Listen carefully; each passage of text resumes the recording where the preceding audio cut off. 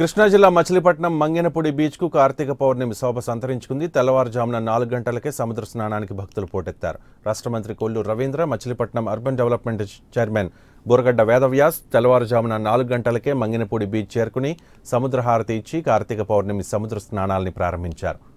భక్తులకు ఎలాంటి అసౌకర్యం కలగకుండా అధికారులు అన్ని ఏర్పాట్లు చేశారు.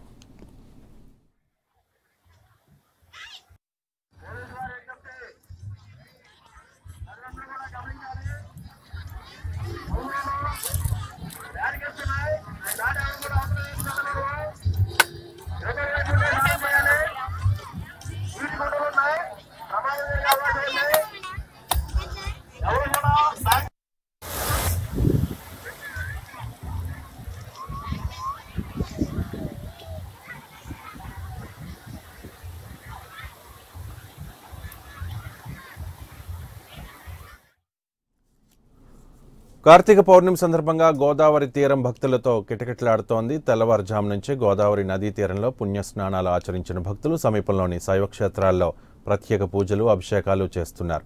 ద్రాక్షారామం కోటిపల్లి కొత్తపేట ముక్తేశ్వరం ప్రాంతాల్లో శైవ క్షేత్రాలన్నీ భక్తులతో కిటకిటలాడుతున్నాయి. రెండు రోజుల పాటు పౌర్ణమి గడియలు ఉండడంతో నిన్న ఇవాళ కూడా భక్తులు వేలాదిగా పుణ్యస్నానాలు ఆచరించి గోదావరిలో దీపాలు వదులుతున్నారు. శివరాత్రితో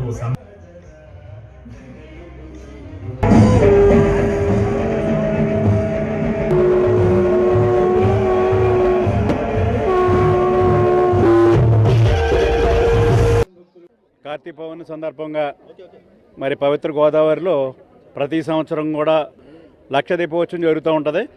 ఈ రాజమండ్రిలో ఎంతో ఆనందంగా భక్తులందరూ కూడా వచ్చి దీపారాధన చేయటం. అలాగే ప్రతి సంవత్సరం కూడా ఐదు సంవత్సరాల నుంచి ఈ కార్యక్రమం జరుగుతుంది. నేను నాలుగు సంవత్సరాలు అటెండ్ అయిన ఇవ్వడం జరిగింది.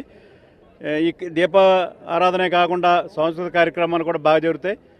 మరి అందరూ భక్తులందరూ కూడా వచ్చి దీన్ని తరించాలని చెప్పి కోరుతూ అందరికీ కూడా దీపారాధన చేసే అవకాశం కలిగింది. చాలా సంతోషంగా భావిస్తాం. ఈరోజు కార్తీక పౌర్ణమి సందర్భంగా పంతం సత్యనారాయణ చారిటబుల్ ట్రస్ట్ ఆధ్వర్యంలో ఐదో సంవత్సరం కార్తీక పౌర్ణమి లక్ష దీపోత్సవ కార్యక్రమాన్ని చేయడం జరుగుతుంది.